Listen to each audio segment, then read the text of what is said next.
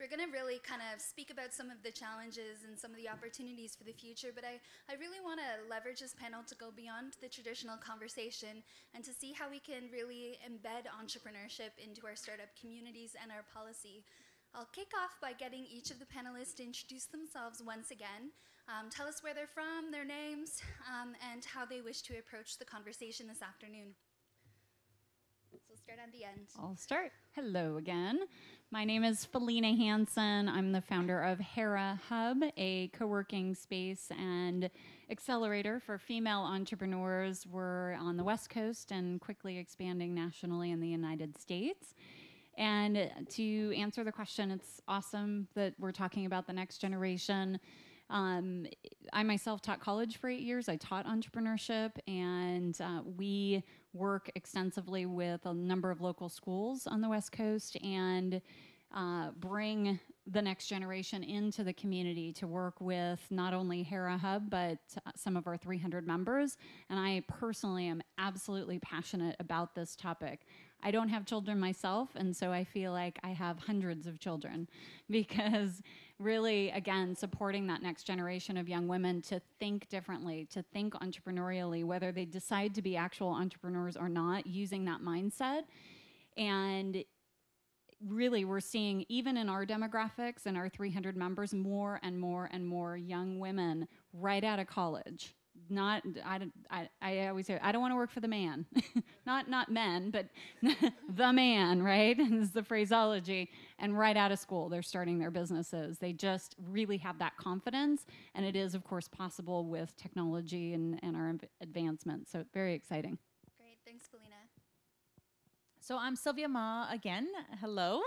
I'm glad to be here, and I am Felina's angel investor in Hera Hub. So when she was deciding to franchise, she sat down with me and we talked about the business model and thought that franchising was the best way to really go across the nation and globally. So um, I went in with her. Uh, as an angel investor, I only invest in female entrepreneurs or female focused businesses. So one of them is a biotech company that has a new uh, um, diagnostic for cervical cancer. And this is done by a the ceo is a male and he is a serial entrepreneur. He's a ucsd uh, professor and doctor. So thought that was really great. So um, run hera labs which is a business accelerator and starting up a female angel fund. So i'm excited to have a lot of connections here with some of the, the gentlemen and ladies who are doing funds and um, working together. So your question is um, what what's the next level? It's not just about support and stuff like that. I think you know all of us are doing so many action oriented projects and programs that um, really kind of turning everything on its side of saying how do you change mindsets you know all of us were talking even outside is what is the um, the culture in latin america that will help more female entrepreneurs to go forwards? How do we get the really, really successful uh, female entrepreneurs or female executives, like we were talking about outside, to really um, mentor the next generation? How do you do that in a culture that might necessarily might not be so collaborative, um, but really maybe um, focusing in on let's say family connections or something like that? So how do we how do we change that culture? That's super hard but i think just having that conversation is the first aspect to it okay so um, i grew up in venezuela and um, and my father was an entrepreneur but he believed women could either be either secretaries or selling themselves on the street that was my two options growing up so I became a biologist. I got my PhD. And after I got my PhD, he said, Great, now you can be my secretary. And I said, No. so um, when I received his inheritance a couple of years ago, I said, I will only invest in female entrepreneurs. That's my story.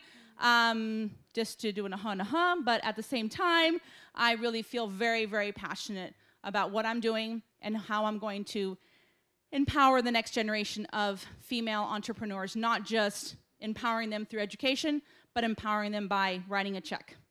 That's very inspiring. Thanks, Sylvia.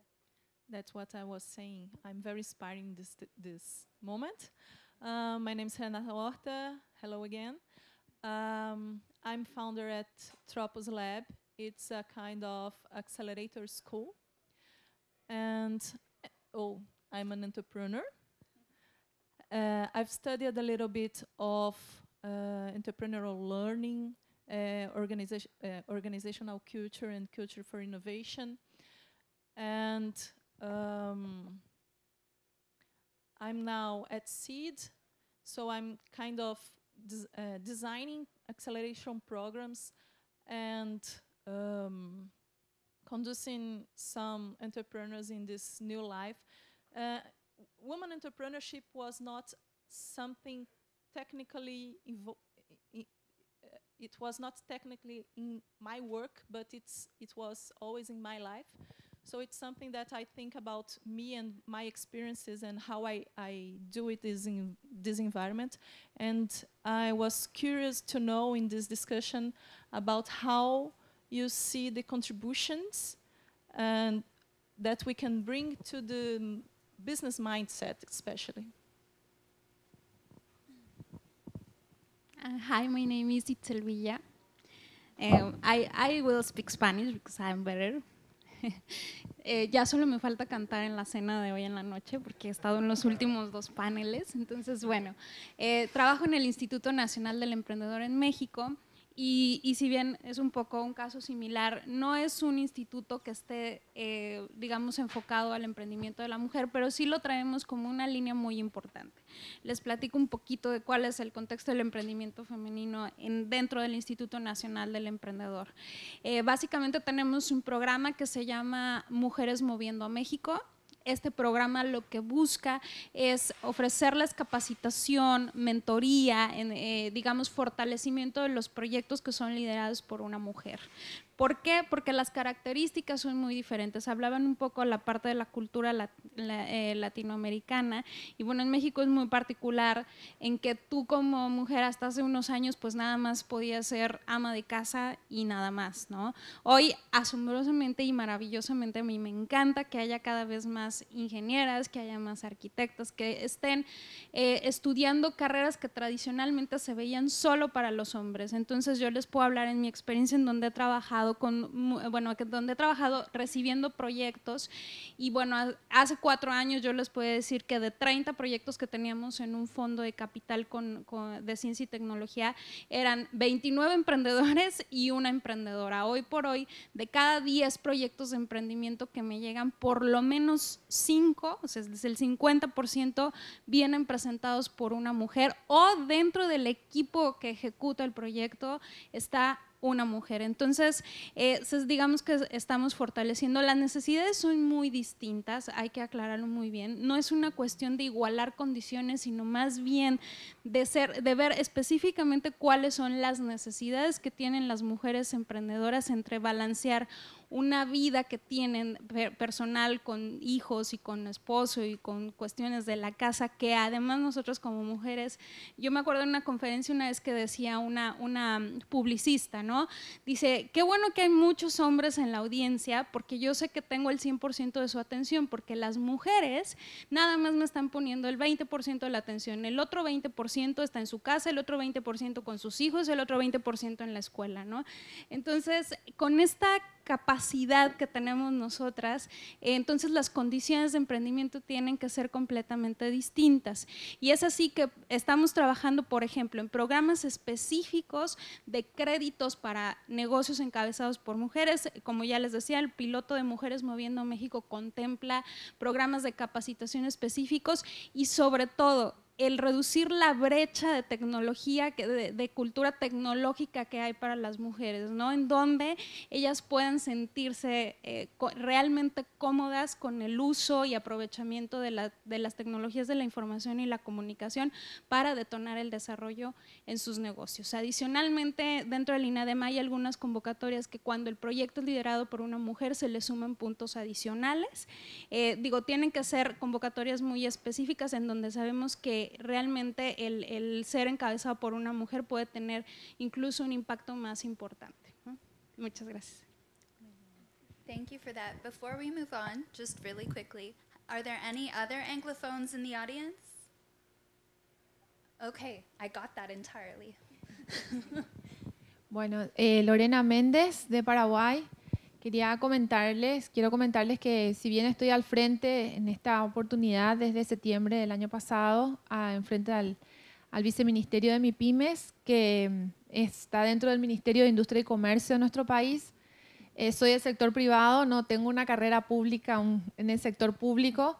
Eh, fui presidenta de la Asociación Paraguaya de Empresarias, Ejecutivos y Profesionales y de- también en la cooperativa de mujeres. O sea, siempre trabajé con, soy del sector privado, tengo una industria gráfica familiar, eh, con mujeres de distintos, de distintos rubros y también de sectores y de estratos sociales diferentes.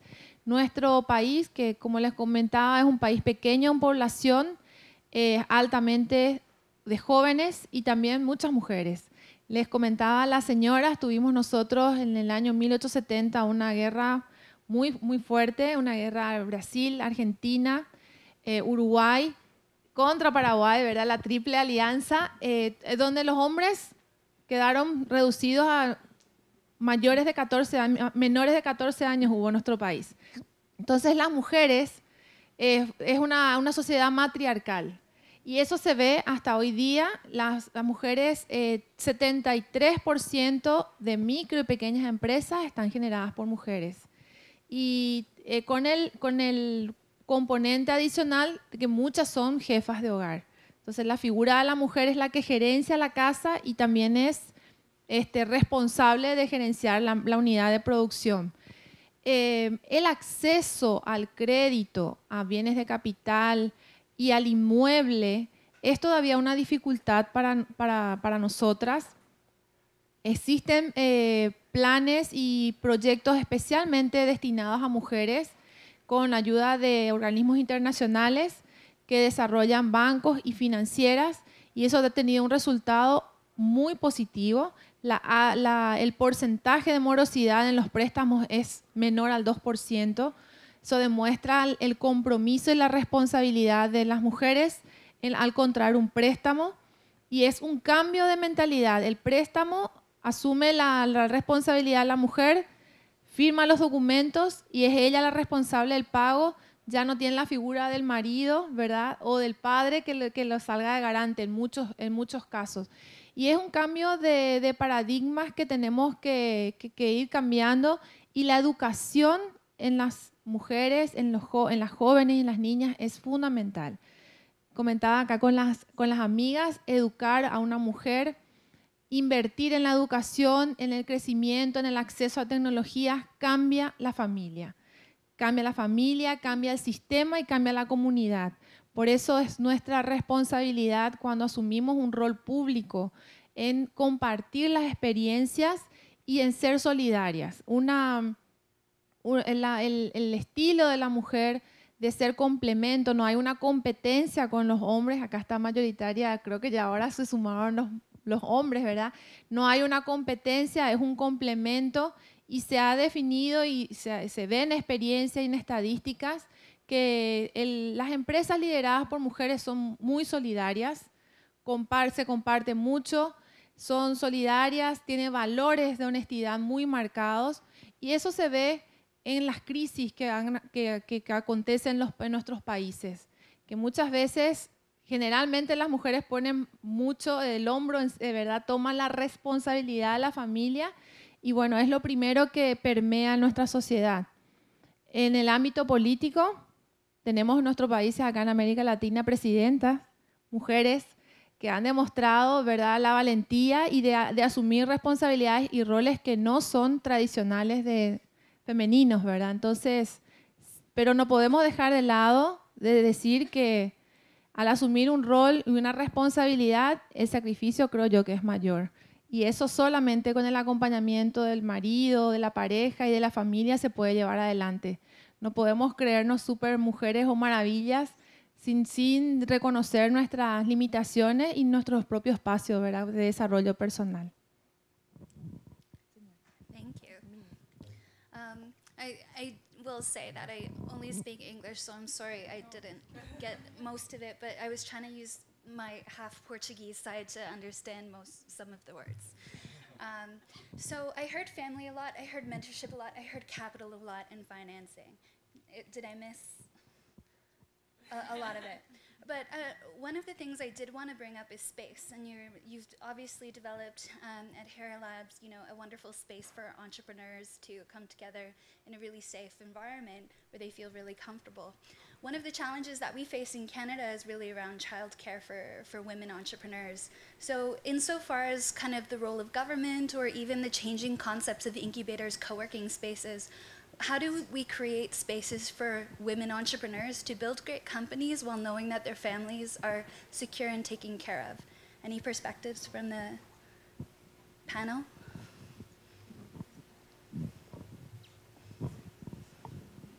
Oh, I'm speaking. I was going to pass it on. So I am a mother of three. I have a 16 year old, a 12 year old, and a 9 year old. I think I got that right. And a supportive husband who really, he's taking care of them right now. uh, they're all in one piece still. So um, when I did have my children, I was in my PhD, so I did not have a lot of support.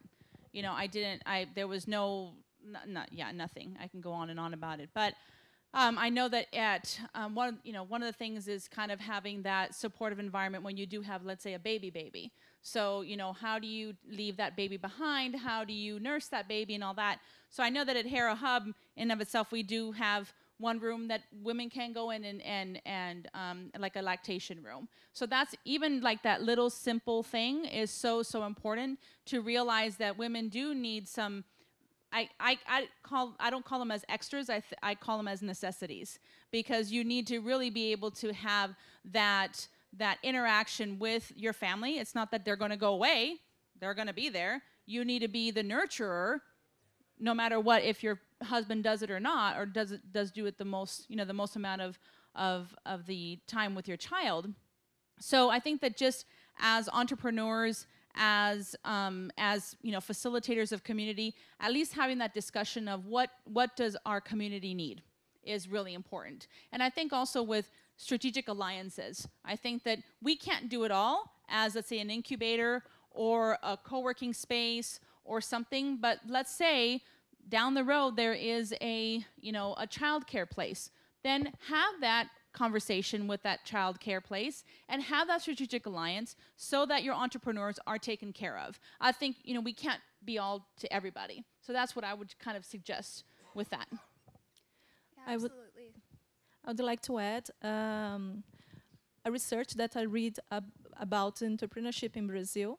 Uh, we have now almost 50% of the entrepreneurs are women, but in the regular business. In the innovation business, this, this number falls to 8% at most, um, more or less. Uh, but the point is that the qualitative research about the regular entrepreneurs, women entrepreneurs, uh, they show that what the, the woman uh, notes about being in this role is exactly that it can help her to solve this kind of problem. That means you can make the, the choices, you, you are the boss, so you can uh, decide when you have when you you will be in the company and when you ca- can go home, whatever. Um, but this doesn't seem the reality in the innovation scenario. And why? There is a the, I, I see that there is a lot of pressure in the innovation scenario for hours of work. You have to show that you are dedicating, not only getting results. So this is a cultural aspect that I think influentiates a lot and creates a lot of myths about uh, women in- entrepreneurship. Any other comments?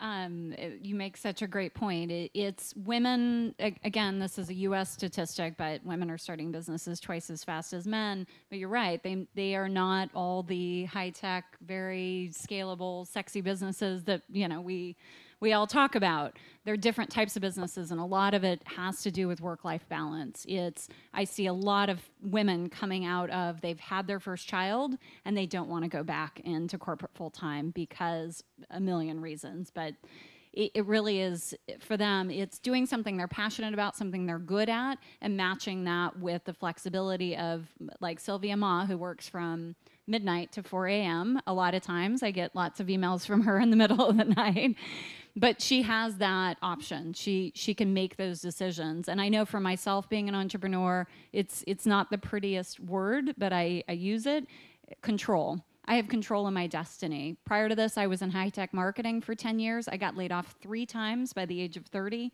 Two companies sold, one ran out of money.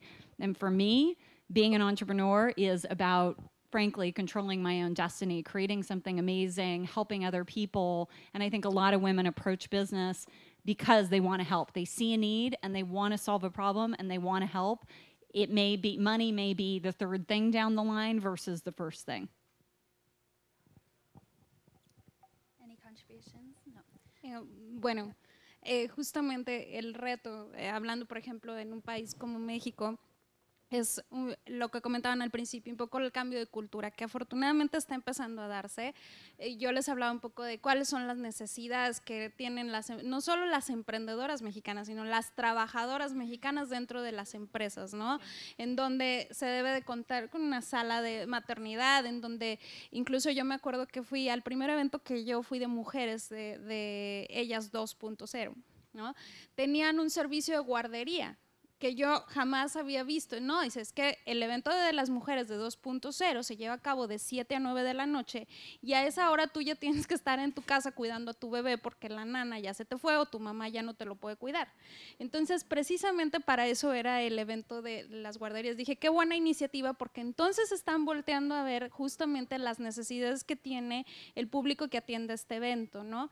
Entonces, es una cuestión, eh, y lo, decían, lo decías al principio, de la cuestión de cambiarlo y de cambiarlo también para, hacia la propia mujer. O sea, eh, se maneja mucho en una cultura como México la culpa de si yo dejo a mi hijo a cargo o a cuidado de otras personas, quiere decir que estoy siendo una mala madre o una mala esposa o una mala ama de casa. Entonces, en la medida en que se puedan ir cambiando esos paradigmas que hoy todavía existen y en una gran medida en México, sobre todo en aquellas regiones donde no existe tanto incursión de la mujer en el sector productivo. Si hablamos de grandes ciudades como en el caso de, México está Ciudad de México, Monterrey, eh, Guadalajara, en donde sí existe ya una participación muy amplia de la mujer dentro del sector de emprendimiento y dentro del sector productivo, pero en regiones, por ejemplo, hablando del sur de México, en donde todavía no hay este desarrollo en la cultura de, las mujeres, de cómo pueden ellas ser creadoras de su propio destino, ¿no? Eh, todavía ese es el reto, el poder empezar a llevar educación para que sepan que pueden tener una vida mejor. ¿No? Básicamente eh, se están creando en México algunos hubs, algunos coworking spaces especializados en, emprendimiento de la mujer. Sin embargo, está todo muy, muy centralizado. Todavía falta, o sea, la parte de, de ampliar ese alcance, yo creo que es el reto principal que tenemos en México. Creo que es un reto de toda la región, no solamente de América Latina. Eh, el cuidado de los chicos, hijos menores y personas adultas siempre es un prototipo, es un modelo de que recae en las mujeres. Y con la incursión de más mujeres en el ámbito laboral y productivo, esto tiene que ir cambiando. Y yo veo que hay muchos jóvenes, acá están en la, en la sala, ¿verdad? Jóvenes eh, varones que comparten muchísimo las tareas en la, en la casa comparten el cuidado, no solamente la educación, sino el cuidado del día a día de los hijos. Y eso es, un ejemplo que, se replica en más, familias, pero no acá en, América Latina y en Europa, que es muy importante. El Estado y las empresas y la legislación tiene que, apoyar no solo con licencias diferenciadas para mujeres, sino también en las guarderías las guarderías, enfermerías para, los chicos. Las empresas que tienen un mayor número de, funcionarios ya tienen la obligación de tener guarderías para que puedan quedar los hijos bajo una custodia segura. Porque, porque es ahí donde radica la, importancia de un cuidado seguro para los niños, pero crean que los niños que crecen con madres que están fuera de la casa trabajando con la misma responsabilidad que el padre, crecen con una mayor eh, seguridad y de independencia y con un sentido de responsabilidad diferente. Ya no tienen todo tan servido, ¿verdad? Como cuando uno está en la casa. Y es importante saber y nosotras como mujeres comprender que más, más tiempo en la casa debe ser reemplazado por mejor calidad de tiempo para compartir en la familia. Ese es el desafío mayor que tenemos como mujeres cuando dejamos muchas horas nuestra casa. Thank you, ladies. So we're going to do a bit of a speed round and then we'll open up for Q&A. So we have uh, three different groups of people who are part of the conference. The first um, are investors, in the room, we have our entrepreneurs in the room, and then we have those of us who support entrepreneurs and are creating communities and, and movements. So, what would your call to action be to be these three parties, men and women, men or women? Um, you can target it as you choose, but a fire round of how, what call to action would you give to entrepreneurs, investors, and those who are building community and supporting startups to really take entrepreneurship for women to the next level in Latin America? So, we'll start on this end. Okay. Pediría realmente una, una decisión importante de apoyo, de confianza, de seguridad. No sé la cantidad de mujeres que están hoy defendiendo sus, sus proyectos, ¿verdad? sus ideas de negocio, pero sí un compromiso, un compromiso mayor de llevar adelante este tipo de emprendimientos en otros países y de multiplicar sobre todo. Acá me estoy encontrando en el auditorio, ¿verdad? Con un amigo que, que estuvo en Paraguay en un Startup Weekend que tuvo una repercusión súper importante. Eh, y eso ha plantado una semillita, ha plantado una semillita, nosotros crecimos eh, también con la responsabilidad de hacerlo en otras ciudades, no solo en la capital. Y bueno, es eso la importancia de, de que nosotros seamos agentes multiplicadores, multiplicadores de que más mujeres, más jóvenes se acerquen y no tengan miedo de defender sus ideas de negocio y de encontrar por supuesto, inversores que quieran apoyarlos. Em, bueno, yo creo que podría ser tres cosas muy puntuales. La primera, la parte de colaboración, colaboración en todos los sentidos, digo, para los emprendedores, el que uno, bueno, si, si, quieren sumarse ya a un emprendimiento, que no le tengan miedo a sumarse a un emprendimiento liderado por una mujer, realmente van a ver que trabajar con una mujer es maravilloso. Eh, tenemos muchas, muchas cualidades, orden, tenemos orden, responsabilidad, no porque ustedes no lo tengan, sino porque tenemos Em, digamos, formas de pensar complementarias. Un hombre y una mujer pueden hacer un muy buen equipo de trabajo, ¿no? Eh, también la parte de promover, ¿no? Todas estas historias, de poderlas llevar cada uno a nuestros países y decir, mira, el tema de emprendimiento de la mujer se está tocando por fin en un evento que no solo eh, asistió gente de Latinoamérica, sino también de Canadá, de Estados Unidos. Nosotros tenemos un consejo binacional que ya se los comenté, donde uno de los ejes de acción justamente es el emprendimiento de la mujer. Y ahí lo que estamos tratando de hacer eh, como línea principal es una campaña de promoción que lleve eh, todas estas iniciativas a diferentes regiones dentro de Estados Unidos y dentro de México para que se sepa que este ya es un tema importante que está tomando fuerza a nivel mundial, no solo en una región o no solo en un país, sino a nivel mundial. Y finalmente, para la parte de inversionistas, yo me acuerdo mucho, mi, mi jefa empezó como fund manager de un fondo de capital público y eran en una mesa 30 inversionistas hombres y ella, Hoy en día ya hay más inversionistas mujeres, es decir, se están arriesgando con su propio capital. Entonces, si ya fueron emprendedoras y ahora quieren ser inversionistas, atrévanse. Hay todo un mercado de oportunidades para poder hacer esto. Aquí tenemos dos ejemplos muy buenos. Entonces, este, bueno, eh, finalmente sería eso, ¿no? De tomar el riesgo tanto para quienes quieren ser emprendedoras como para quienes quieren ser inversionistas. Bueno, digo dos cosas. Uno, recordando un estudio de Dow Jones Ventures, um, que empieza a encontrar data que dice que um, startups con la presencia de mujeres en VC level eh, tiene um, taxas de éxito mayores, más grandes. Entonces, esta es una mensaje para los inversionistas también para los emprendedores que busquen una uh, socia. eh, la otra es un, un, un, dado que dice que las emprendedoras tienen como motivación inicial, grande, eh, grande parte de su motivación inicial viene de amigos, eh, personas que la dicen pueden emprender esa idea y la encorajan y ella decide emprender. Entonces, les digo que encorajen a alguna mujer, que le digan, usted es capaz y usted puede hacer eso, y puede, y eso puede cambiar su vida. I'm speaking in English, so I can't speak in Spanish too, but I'll do this. So, um, three people in the room. Um, uh, investors, entrepreneurs, and community leaders. So who has, first of all, I'm just gonna go gone out of the box a little bit. Who has a daughter in the room? Okay, when she wants to have a lemonade stand, or when she wants to bake cookies or do something, tell her she can do it. And tell her that she can be an entrepreneur. I think that's the first thing. So we have about maybe 12 girls in here that might be entrepreneurs in the future. So support them, first of all.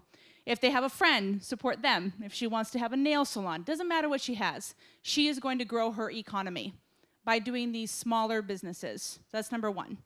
Number two, investors. I think that even when you're talking to um, a startup, like we've said here, maybe say instead of saying, you know what, you need to get an advisor, ex advisor, maybe ask them, talk to a woman. Talk to a woman to see what she brings to the table okay? And see if that kind of changes their thought process, maybe increases their their um, way of thinking about their product. So that would be the second thing.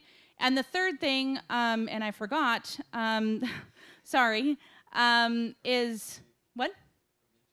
Oh yeah, well yeah. So the community leaders, um, it's it's it's it is half of it is they can do it. You know, is is really saying okay, the woman who's coming through your door, you can do it. But I think mentorship for those community leaders is saying, okay, get, like you said at the beginning, get the best of the best.